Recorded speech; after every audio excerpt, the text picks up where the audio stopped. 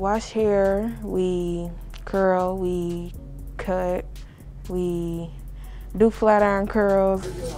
There's a lot of buzz about the cosmetology and barbering course at Pike High School. We basically do, we learn everything. We do makeup, we do waxes.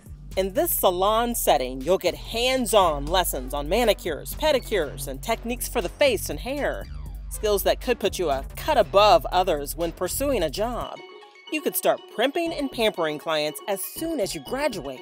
Once you um, complete the program, you'll receive a license which will allow you to go into the workforce and begin working in any beauty salon, barbershop, or spa.